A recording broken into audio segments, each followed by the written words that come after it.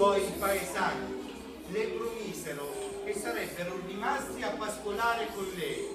e le giurarono che avrebbero fatto i turni per non lasciarla mai più da sola.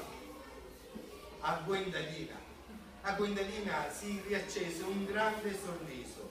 e ricominciò a gustare l'erba tenera e a bere l'acqua fresca dei laghetti. Fu felice la mucca Gwendalina, così felice di non essere più sola,